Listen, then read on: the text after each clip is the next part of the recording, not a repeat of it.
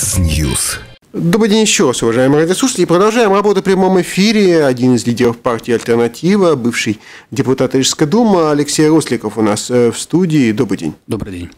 Да, вот много интересных событий сейчас происходит, э, и после распуска Рижской думы. Я, может быть, такой вопрос вам задам. Вот э, как вы вот пережили, ну, может быть, не то слово, ваши ощущения вот после распуска Рижской думы, потому что, ну, вроде бы вы шли, получив ясный мандат от э, избирателей, много голосов, кстати, много плюсиков собрали. Да. Ну, и, в принципе, вы рассчитывали, что у вас есть период времени для того, чтобы что-то сделать 4 года. И вдруг раз да. оборвалось. Я не хочу сейчас обратно уходить в историю, почему распустили, зачем. Вот э, как вы размышляли, что делать дальше, как обращаться к рижанам, вот э, что вообще будет? Хотя, да. Самое главное вот в этой всей ситуации, которая происходит, ни одному политику нельзя бояться перезагрузки. То, что произошло в Рижской думе, это перезагрузка, и она позитивна. С какой точки зрения, в каком ключе? Э, на данный момент я думаю, что благодаря этой перезагрузке именно у молодой части э, политиков появилась возможность создать свою новую платформу, какой является альтернатива, и дать новое альтернативное предложение для избирателя. Потому что, ну, давайте посмотрим на политическую ситуацию в Латвии. У нас за латышского избирателя бьются одновременно 7 партий, с одной стороны, это хорошо, минимум, да. как минимум, да. да. С одной стороны, это хорошо и позитивно, потому что любая конкуренция дает качественный продукт для потребителя, в данном случае для избирателя. За русского избирателя у нас э, бьется, ну, в принципе, полторы партии, да, то есть, что, опять-таки, наверное, на этом фланге не самая э, сильная сторона. Поэтому наше появление э, в политической конъюнктуре страны, я думаю, что отразится только позитивно и даст возможность для избирателя, эм, скажем так, получить более стабильное, правильное и со временем доказанное предложение. Вот все-таки, если мы говорим о приоритетах, ну, мы знаем, что вообще в предвыборное время это, понятно, что определенное обращение, не хочется такие параллели проводить, но они жизненные, обращение к покупателям – предложение да? товара. Ну, да. в данной ситуации да. это, конечно, политический товар, да, с учетом, что все-таки Рижская дума – это самоуправление, вы, да. может быть, не решаете вопросы какие-то глобальные, вы решаете хозяйственные вопросы.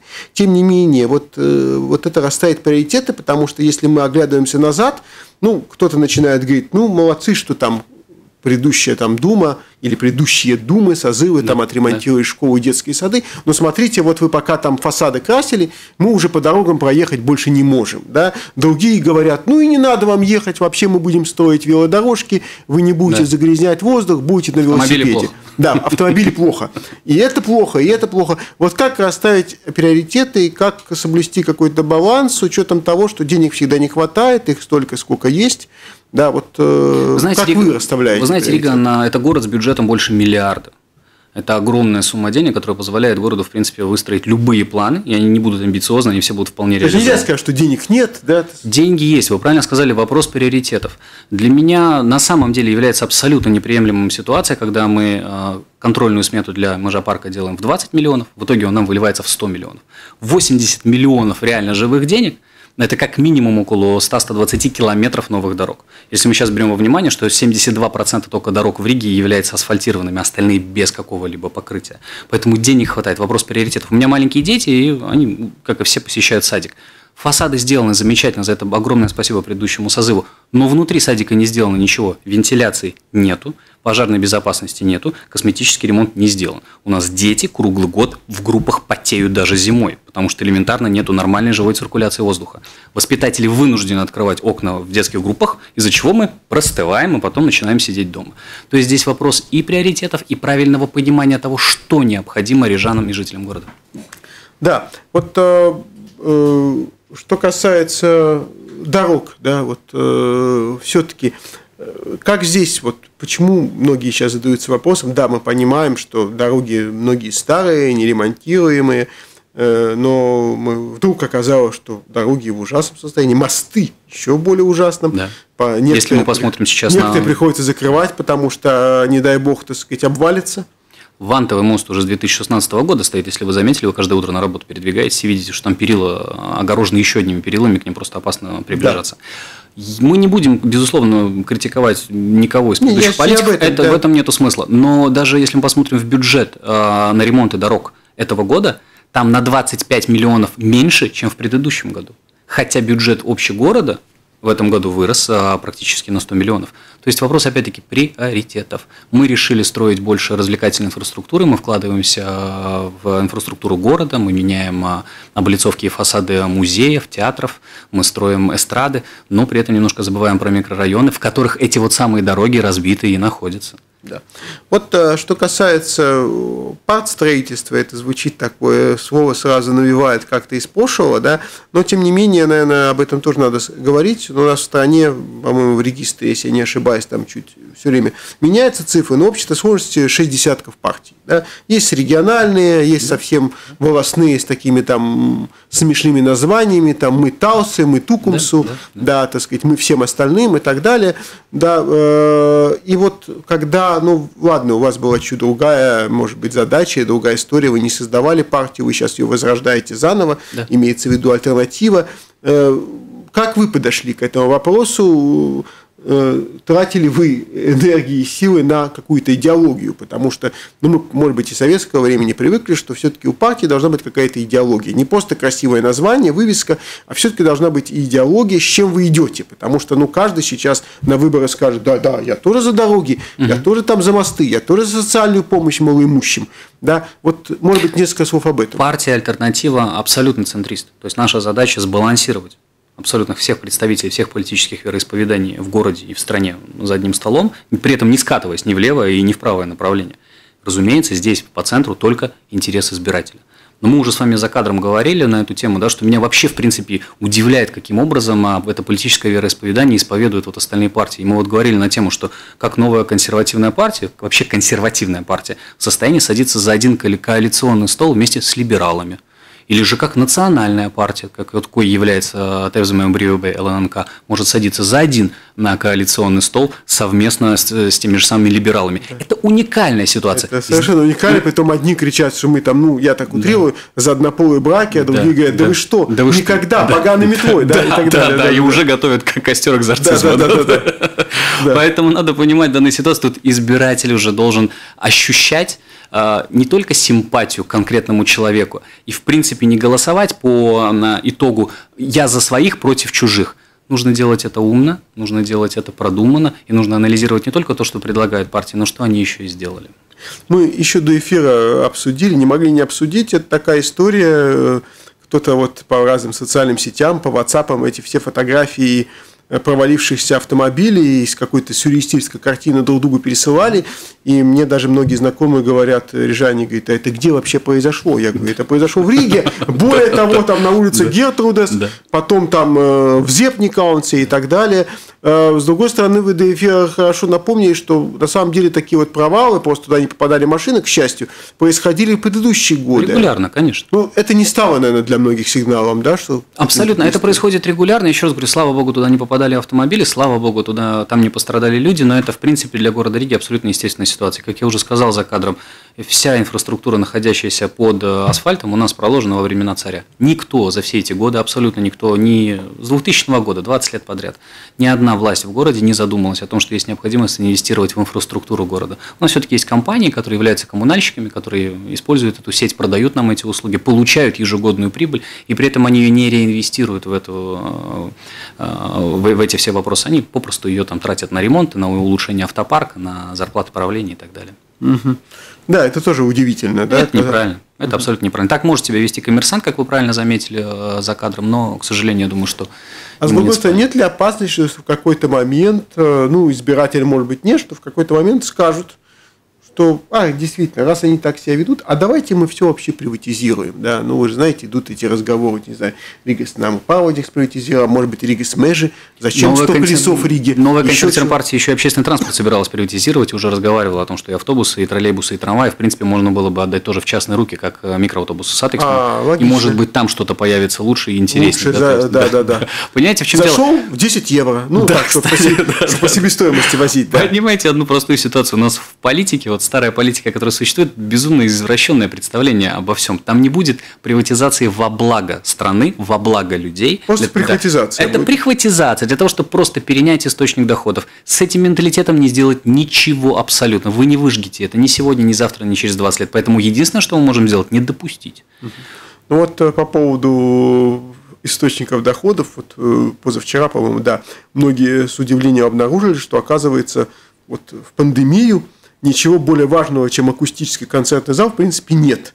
Да, и для этого нужно тихий центр превратить да. в шумный центр, да. Да, устроить там, так сказать, сначала снос этого да. здания, которое, слава богу, стоит и здравствует, никому не мешает, вроде не развалено, а потом еще и акустический концертный зал. Да, меня эта ситуация, в принципе, в корне раздражает по одной простой причине. Я просто даже смотрю, как обыватель, как рижанин, у нас нет денег для медиков, у нас нет денег для учителей, мы не имеем возможности поднять зарплаты э, силовому блоку, то есть полицейским, пожарным, спасателям, таможенникам, но при этом мы находим 118 миллионов для того, чтобы устроить очередную развлекательную стройку. Я просто... А, уже известно, что будет такая сумма, 118 да? миллионов, да. Я вам напомню, что на повышение зарплат всем медикам Латвии по расчетам, по расчетам министерства было необходимо 120 миллионов.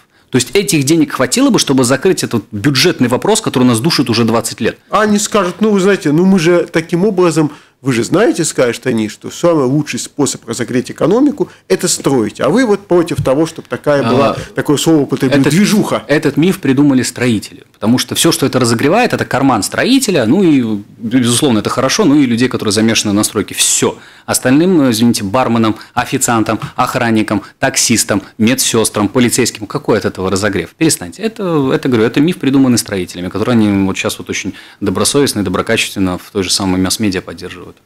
Да. А, тоже интересно такое замечание, но самое главное, что действительно вот так вот, если посмотришь, но никто не говорит, что мы против каких-то культурных объектов. Когда посмотришь эти цифры, да, десятки миллионов, сотни миллионов, да, и понимаешь, ну а что все остальное уже решено? Я же говорю, что вот этот извращенный ум а, старой политики, мы если говорим госбезопасность, то под этим предлогом мы все равно имеем а, какое-либо или расхищение бюджета, или же какие-либо ну, явные нарушения, но пытаемся их оправдать понятием госбезопасность. Здесь то же самое, культура, ее сохранение, и мы считаем, что под этим лозунгом мы можем миллиарды выкачивать в любом направлении, а что вы нам скажете, мы культуру сохраняем. Мы Вы что, не, против? Мы, мы, мы, мы, еще теперь новая сказка разогреваем экономику. Все. Вот э, да, а ведь проблемы между тем остаются. Я помню, что это было, наверное, еще даже, может быть, не прошлая Дума, в которой вам э, э, довелось работать, но еще, может быть, раньше. Были такие разные амбициозные проекты с красивыми названиями английскими Park and Ride, где ты, помните, там где-то да. ты оставляешь в своем микрорайоне машину да. на бесплатной стояночке, дальше садишься да. на общественном да. транспорте, едешь на работу, потом возвращаешься в эту паркинг райт, а там у тебя еще и магазинчик, отоварился да. и поехал уже к дому. Но я так понимаю, что вся эта сказка не случилась. Что вообще с этим делать? Потому что ну, действительно уже машины в городе негде припарковать, не, не в каждом микрорайоне есть вот даже платная стоянка. Да, да вот э, есть ли какие-то тут решения, на ваш взгляд? Это, эта ситуация, она вы абсолютно правильно заметили, она, ну, выражу, наверное, простым словом, просто умерла. По одной простой причине, что, в принципе, здесь еще очень важно победить еще и наш, опять-таки, менталитет. Мы считаем как, 18 лет исполнилось, должны обязательно сдать на права. То есть у нас это обязательная часть э, после окончания школы. Здесь тоже не все жители города на самом деле готовы отступиться от частного транспорта, пересесть в общественный. Здесь можно гадать. Возможно, это не особо комфортный общественный транспорт, хотя, ну, вы поправьте меня, мне кажется, что у нас, в принципе, автобусы, трамваи ну, выглядят довольно-таки достойно и, наверное, не отпугивают. Поэтому... Не отпугивают. Иногда даже кажется, что Э, для того, с учетом того, что у нас почти 90% населения едут ну, по льготам, да, может да. быть, такой шикарный общественный транспорт и дорог для города, но это тоже, уже другой то, концепция. Тоже, может... тоже вполне возможно. Да. И опять-таки нехватка муниципальной земли такого объема, а, чтобы можно было строить вот эти вот огромные парк and ride э, блоки, чтобы да. они действительно были удобны для рижан. Идея хорошая, реализовать сложно. Вся земля, практически хорошая крупная земля в черте города, была уже, к сожалению, продана. Э, или в свое время приватизированной, город уже к ней не, не может подступиться. И надо понимать, что частник, понимая, что у города стратегические интересы к этому, к этому куску земли, он вам такую цену там завернет. И вы никак на него повлиять не сможете. Город – это не государство. Государство всегда может сказать, для национальных интересов сейчас вообще национализируем или продавай по рыночной цене. Город, к сожалению, так поступать не может. Хотя в некоторых случаях можно обращаться к парламенту. Я думаю, что и наши радиослушатели, которые внимательно следили за ситуацией в Риге, э, знали, что вы э, на последнем этапе возглавляли комитет. Развитие города, да? Именно, именно развитие да, города, да, да. поэтому вот очень часто меня тоже спрашивают, а что вообще будут, вот э, мы понимаем, что не сами депутаты, или не, не только депутаты пишут вот эти пункты развития города, чиновники, департамент, специалисты, вот, которые планируют город э, дают какие-то предложения. Был даже, я так понимаю, проект развития года, э, города до 2030 года. Что дальше будет вообще? Что вы успели? Может, я знаю, что у вас тоже было целый ряд предложений конечно, конструктивно. Конечно. Что успели, что не успели? Конечно. Ну, разделим. Есть комитет, это политическое управление, да, есть да, да, департамент. Департамент, к сожалению, вынужден идти иногда под давлением общественных организаций, которые говорят, вот, необходимо, чтобы было... Ну, ну комитет э, как бы надзирает. Да, комитет надзирает. Мы э, в комитете, абсолютно все партии, меня как руководителя, мы всегда смотрели, как правильно выразились, прагматично. Допустим, мы реализовали такие необходимые проекты, как освещение в микрорайонах. В некоторых микрорайонах, допустим, Букулт, Сужи, Яунсемс, там уличного света нету. Там центральная улица, 7 километров, ни одной латерны, Постоянно школьники идут со школы, попадают под колеса, страдают, кто-то сбивает животных. Это мы живем в 2020 году, у нас нету света. Чего мы сейчас с вами тут будем фантазировать про, а розет... про да, да, про концертный зал. зал или про розетки для электромобилей? У нас народ в темноте живет, а какая-то часть вообще ходит по, по брусчатке и по песку, потому что асфальта почему-то в 2020 году. Мы решали эти вопросы. И Яунсемс, да, это очень такой, на мой взгляд, позитивный пример. 240 латерн, 7 километров света будет там, где его просто нет. Очень часто Балдараи говорят да. о том, что там это забытый район. Ну... Ту часть мне удалось э, оживить проект, который на самом деле не имел никакой перспективы. Это предплуд по Сакуме против э, э, затоплений. Да. Там постоянно, если вы смотрите за новостями, когда выходила из берегов наша вода, там показывали некоторую бабушку, которую регулярно приходилось эвакуировать аж на лодке из ее дома. Да. И в этом году начался замечательный проект. Мы поднимем берег, мы сделаем там променад, мы поставим там новое освещение, поставим новые ливневки, ну не мы, это уже сделает город. Но ну, это, Но будет, это решение да? было, да, принято при нас, уже там все, уже работы идут полным ходом. Поэтому я больше, наверное, виноват, я больше смотрел на именно прагматичные решения, необходимые рижанам. Я могу фантазировать насчет летающих тарелок, да, там и телепортации людей, да, из одного места в другое, и писать это ну, на бумаге. Если нет света, да, но если, мы... да, если да, если вы правильно, если у людей нету света, то какие, извините меня, пункты э, подзарядки электроавтомобилей? Ну, это глупости. Да, вот э, действительно э, Должен ли город заниматься, здесь тоже мнение расходится, должен ли город заниматься строительством муниципального жилья?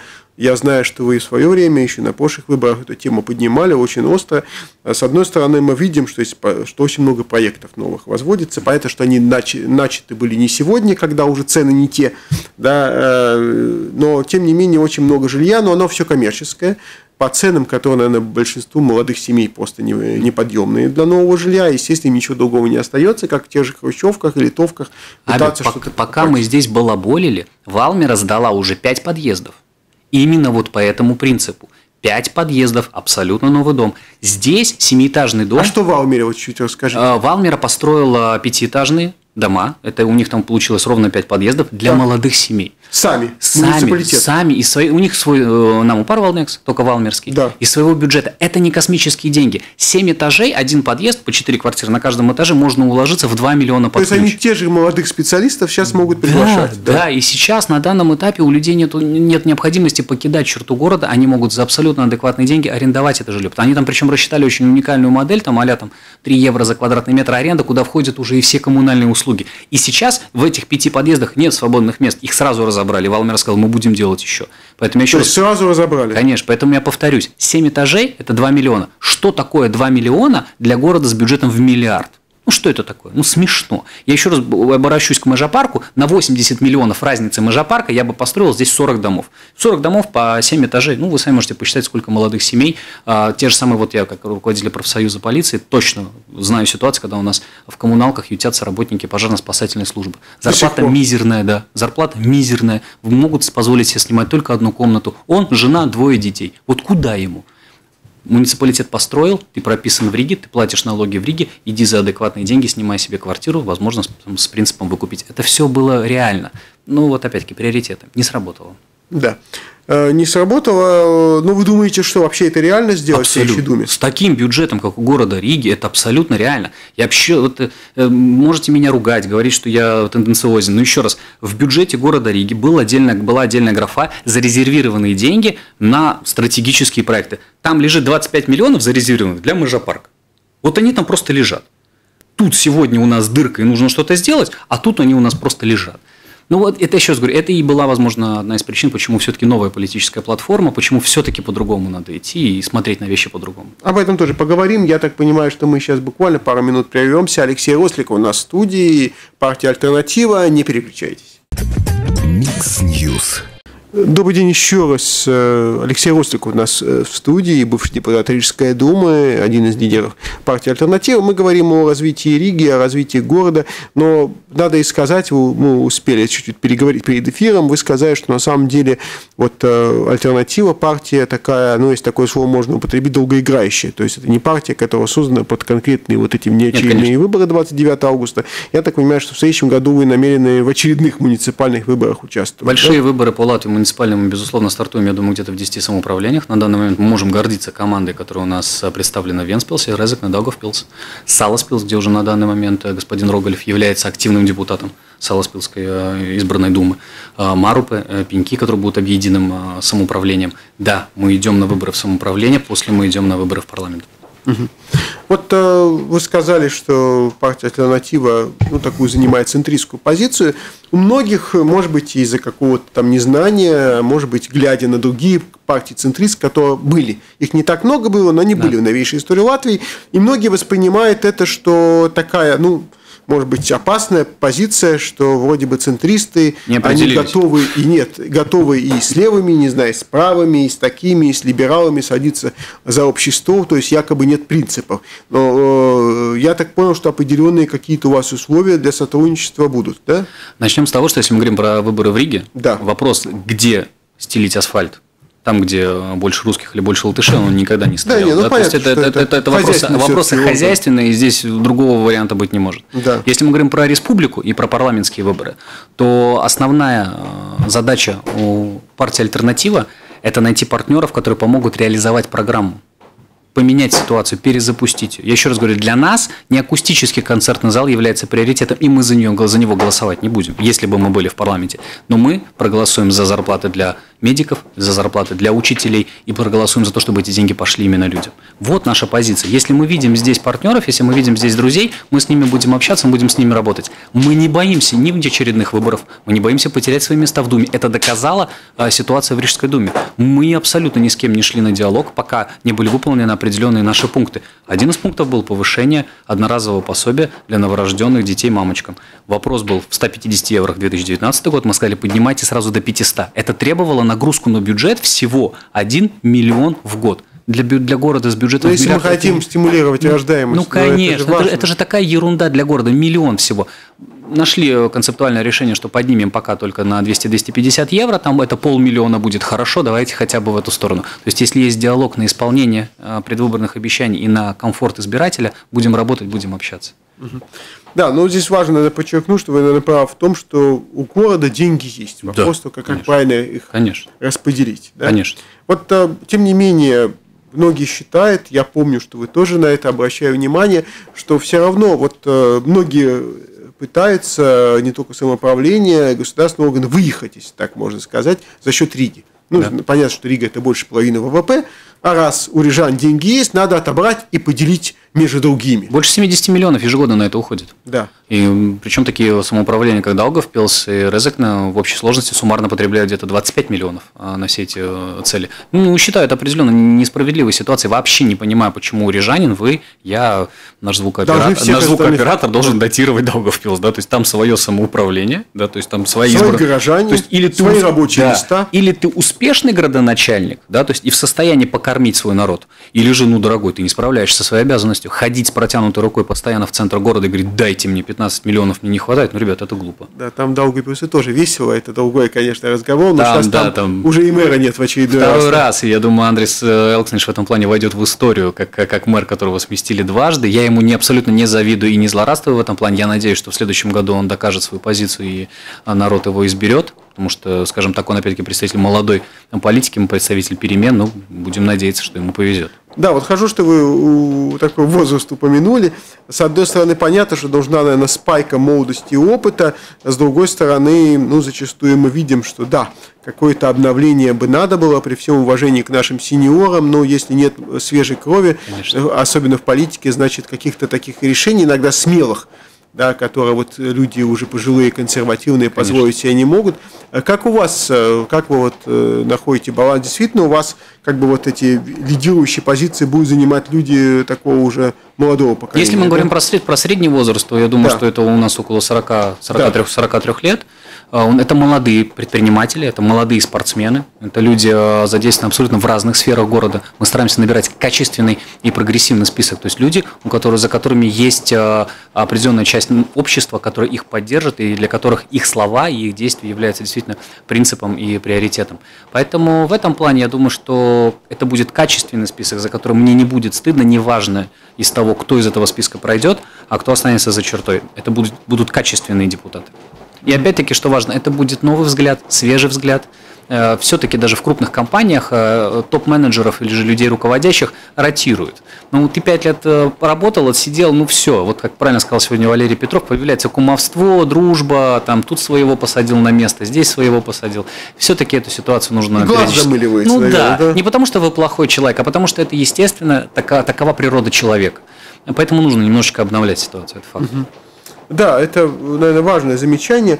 Э, еще если мы говорим вообще о вообще о управлении, в том числе городом как таковым, может быть, пандемия показала, еще раз тем, кто, может быть, не знал, что э, можно управлять эффективнее, и не всегда обязательно такое количество вообще управленцев, ну или чиновников да. нужно. Да. Ну, мы все время говорили это в масштабах страны, но и очень многие структуры, я так понимаю, в самоуправлении, в Риге в том числе, тоже работали на удалении, и никакой трагедии не случилось. Я вам э, даже... Вот, э, может быть, действительно тоже сигнал к тому, что надо что-то пересмотреть. Я вам даже скажу в абсолютных цифрах. Э, да.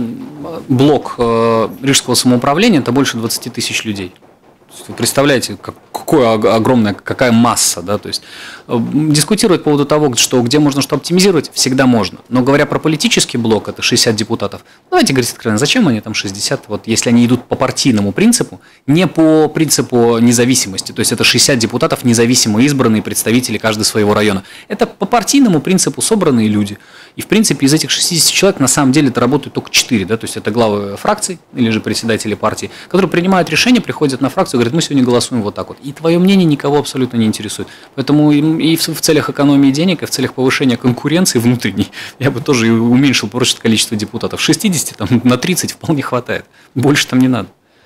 Даже так, да? Абсолютно. Ну и количество Абсолютно. чиновников, возможно, тоже. Конечно. Да? Надо пересматривать все эти списки. Почему на данный момент современная власть, если мы говорим про республику, не хочет затрагивать этот вопрос? Потому что это стабильный электорат. Если мы смотрим в масштабах всей страны, это более 200 тысяч человек, которые задействованы в административном аппарате страны. А у него есть папа, мама, брат, сестра, которые четко понимают, что их благосостояние тоже хоть как-то но зависит от трудоустройства конкретного человека. Это получается электорат.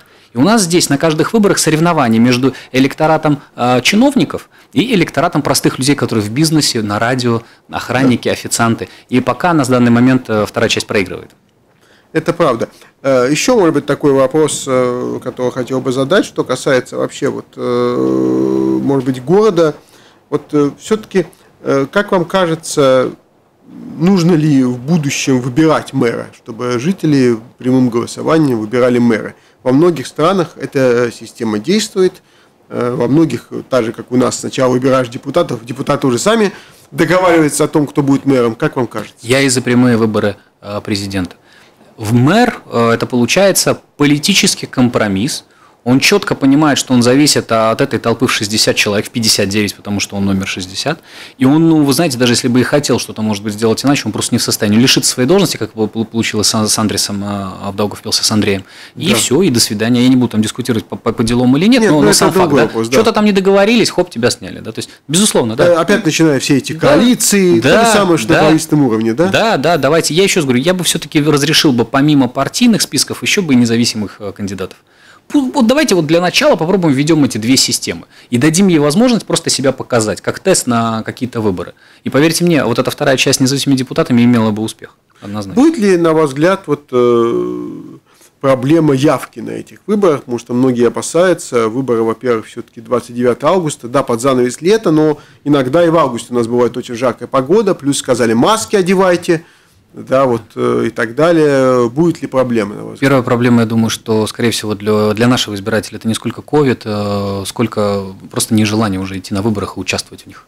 Абсолютная невера. И это на самом деле дико на руку вот старой политики. Вас чем меньше придет, потому что у старых политиков всегда есть стабильный рейтинг, они все равно пройдут. Чем вас меньше придет, тем и хорошо тем меньше шансов у новой политической силы, тем меньше шансов на какие-то перемены. Я думаю, что явка, она, конечно же, будет ниже, но я думаю, что тоже национальный блок э, регион будет стараться все-таки стимулировать своих. Опять пойдут разговоры, русские идут, русские, русская часть подключится, латыши идут, и в итоге я думаю, что там каких-нибудь, вот обычно у нас появляется на выборах где-то 50-53%, я думаю, что эта явка будет 40, ну, это максимум, скорее всего. Да, вот э, вы упомянули, что вот наш избиратель, я понимаю, что сложно э, сейчас что-то говорить, но тем не менее, с учетом того, что вы постоянно общаетесь с рижанами, не только со своими знакомыми, и в социальных сетях, вот э, портрет такой социальный, как вам кажется, вашего избирателя? Я думаю, что мы, я думаю, да. что мы говорим а, с такими а, позитивными ярыми индивидуалистами, это где-то 30-35 плюс. 30-35 да, плюс. Да, это молодые люди, которые занимаются своим бизнесом, которые ну, довольно активные, да, успешны да. в своей карьере, будь она личная или же на наемной работе. Люди, которые ежедневно находятся в городе, платят исправно налоги, стараются участвовать в ее жизни, но в принципе от города в обратную связь ничего не получают. Тот же самый молодой предприниматель, он по сути ни от города, ни от страны ничего не видит. Он только платит, платит, платит налоги, зарплаты, плачу, плачу, что обратно, на обратно ничего абсолютно не приходит. Ну вот мы видели по, по простою, изначально, пока да, не было этого скандала, да, кому-то да. перечислили 4 евро, это больше да. такое изощренное издевательство было. Это, это безумие, это безумие. Это, это, это, я бы назвал это латвийские чаевые, да, то есть, ну, потому что, ну, вот, вот, вот в такое безумие скатиться, себе чиновникам выплатить по 30% к зарплате, э, что, в принципе, там в деньгах по 600-700 евро, а тому же медику за то, что он работал с ковидом, перевести 3-4 евро за риск, да, то есть, или как вот я занимаюсь больше полицейской темой, да, то есть, перевести 2-3-4 евро там, ну, это, это нонсенс. Вот там такие суммы переводили? А я видите, потому как они... как раз хотел вас спросить, как у лидера профсоюза полицейских, многие это помнят, э, и действительно там такие суммы. Кабинет министров постановил, что все, кто сталкивались, э, с, кто работал с, в, в, в, эту эпидемию, и тем более сталкивался с людьми, а, необходимо им компенсировать эту работу. Что сделали органы? Они взяли и рассчитали, вот сколько ты минут общался с потенциально, возможно, больным человеком. Ну, там минут 7-8 в дежурной части. Вот, за 7-8 минут мы тебе и доплачиваем. Логично, да. То есть, это, ну, ну, а главе госязыка мы 700 евро просто к зарплате положим. Да, то есть, центр так все было, ну, да? То есть, это ну, чушь, чушь и нонсенс. Но еще правильно сказал Валерий Петров, абсолютный социопат, и люди, которые потом в принципе ненавидят людей. И я вообще не понимаю, по какому принципу они все еще получают свои голоса на всех выборах. Да, это удивительно. Это... А, вот кстати, тоже вопрос интересный. С другой стороны, я думаю, эта тема вас заботит, как лидера профсоюзов. Вот многие жалуются, что вот там профсоюзы такие, профсоюзы сякие. Но ведь это, наверное, общая тенденция, потому что и народ-то не активен. Да? Ну что могут профсоюзы, если они чувствуют, что вообще население готово как-то выразить свое отношение? Да? Политическая активность населения у нас в Латвии, по-моему, не превышает 2,5-3% от общей э, плотности населения. Имеется в виду те, кто в партии участвует. Те, да? те, кому вообще это вот интересно, да, он там читает даже может быть и меньше. И меньше, да. да. С профсоюзами абсолютно такая же ситуация, что если тысяча человек работает, да, то есть, то дай бог, чтобы 15-20 вступили в профсоюз, да, то есть и действительно пытались как-то. То есть пока вместе... Э, их самих да? не коснется, они думают, что очень... а, если что, кто нас защитит. Очень да? часто такое бывает. Человек вступает в профсоюз, год, полтора-два его не видно, не слышно, он э, ни членские взносы не платит ничего, а когда его пытаются уволить с работы или же у него случается какая-то беда, он приходит и просит юридическую помощь и поддержку. Мы, конечно, все равно это все делаем, но на самом деле это некрасиво. Так не должно быть. Все-таки люди должны как-то более ответственно подходить к этой всей ситуации. Мы меняем среду вокруг себя. Если ты вместе со своими а, единомышленниками на работе не объединяешься, вот этот единый кулак, не создаешь вот эти вот правильные условия труда, то ну а кто же со стороны что-то может Это, сделать? кстати, очень хороший вот э, совет, такой рецепт, наверное, и для э, ну, самоуправление для жителей города, что мы меняем вокруг себя. Не да. только нужно ждать, что да, да депутат да. само собой, но не да. только нужно ждать, что депутат сразу да. все решит. Вот да. у вас нет света, как да. вы сказали, Яунцемси. Да. Да. Ну, давайте вместе да. организовывается группа активистов там этого Так и случилось. Бедриба да? Яунцемс. Ну, я не во сне их увидел, но они меня атаковали. Они приходили в, в Думу, они разговаривали, они увидели во мне интерес. Они делали все абсолютно, приглашали к себе в микрорайон, устраивали собрания в местной школе, показывали планы, как все можно сделать. Вот это вот такая уникальная, правильное событие, э, позиция. Многие депутаты... И в результате? Вот, получили свои 7 километров. То, что вот и хотели, то, о чем они, в принципе... А если бы они мечтали. молчали, ничего бы не делали, да, возможно, да, и там была да, бы темнота да, по сей день, да? Да, да, да. Вот это, кстати, и к другим районам, да? Да, абсолютно. При уважении э, к диванным экспертам, да, наверное, да. такие тоже нужны, да. которые могут там как-то да. э, критически оценить. Но надо и иногда что-то самим Конечно. действовать. Есть дорога без асфальта, необходимо сделать. Э, нашли своего депутата, пришли к нему, попросили, показали, проконтролировали, что он сделал по вашей просьбе. Это, конечно же, работа, но без этого не будет общего результата. Э, Да, вот 6212-939, э, телефон прямого эфира. Э, дело может быть прошлое, но вот радиослушатель тоже, наверное, вспомнил, спросил, вот этот конфликт, который был в Рижской думе застройщиками, видимо, застройщиками, может быть, и, и нет The Towers, вот эта знаменитая mm-hmm. история. Почему вы вообще, есть ли вообще вот для таких больших строек, вот как, почему такие конфликтные ситуации возникают. Зато, не вдаваясь, может быть, да, какие-то да. подробности проекта и да. так далее, и так далее. Любая стройка – это большое, сложное, комплексное, комплексное мероприятие. И мы, будучи в Думе, как руководитель комитета и как остальные члены комитета, мы всегда полагаемся на экспертное мнение именно стройуправы.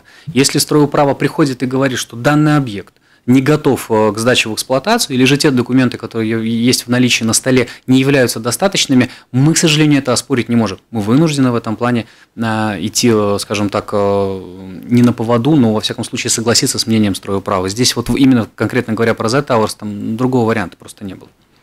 Ну и как мы видим, потом Ежибу эксперт же, по-моему, и лишился потом своего сертификата. Да, то есть поэтому там ситуация под большим вопросом на самом деле. Вот даже так, да? Да, да, да. Угу. Ну что, успеем принять и, по крайней мере, один звонок, может быть, и больше. Посмотрим. А, Добрый день. Добрый день, пожалуйста. Добрый день, спасибо, что приняли звонок. У меня, знаете, какой вопрос?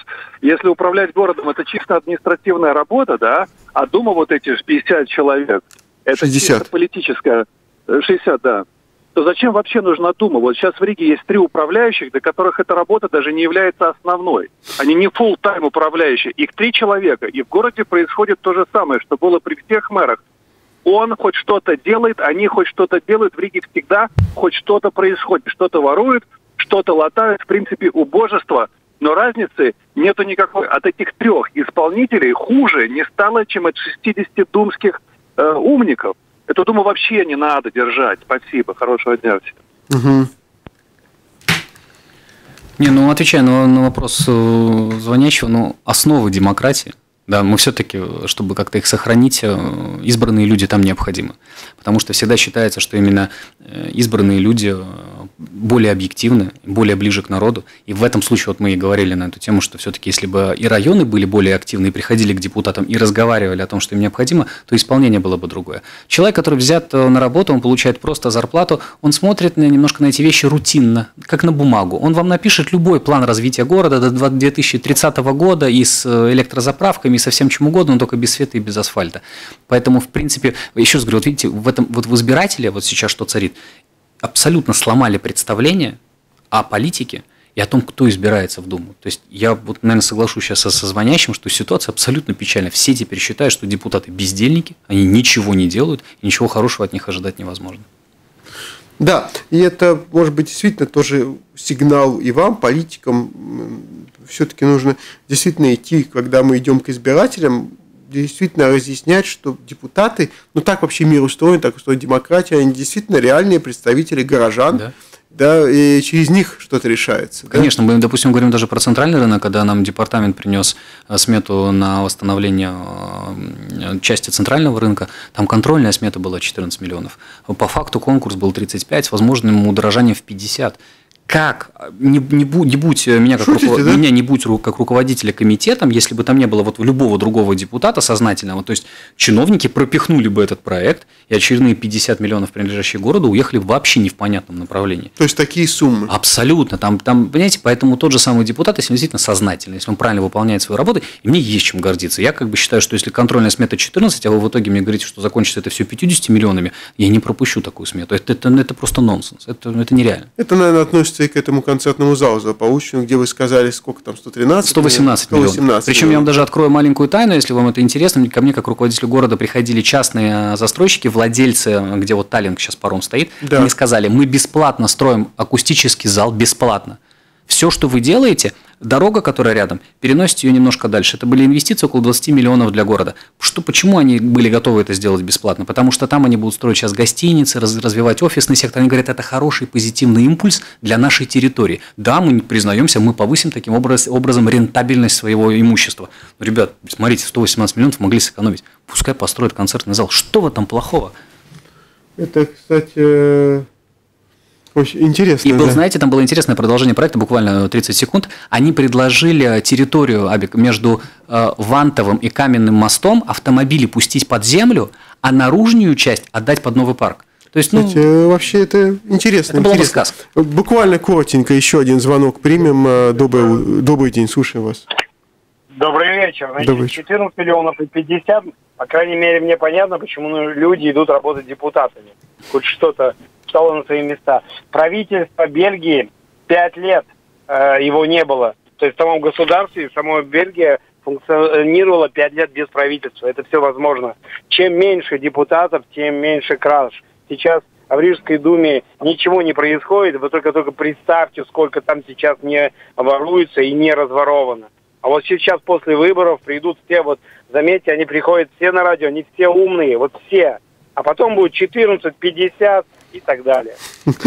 Спасибо большое. Я, да. я вам скажу так, вот недавно была передача, пригласили администраторов временных Рижской думы и спросили, вот вы сэкономили деньги на бесплатных обедах для школьников э, и в детских садах, куда деньги-то направите и какая сумма вообще сэкономили? Не ответили.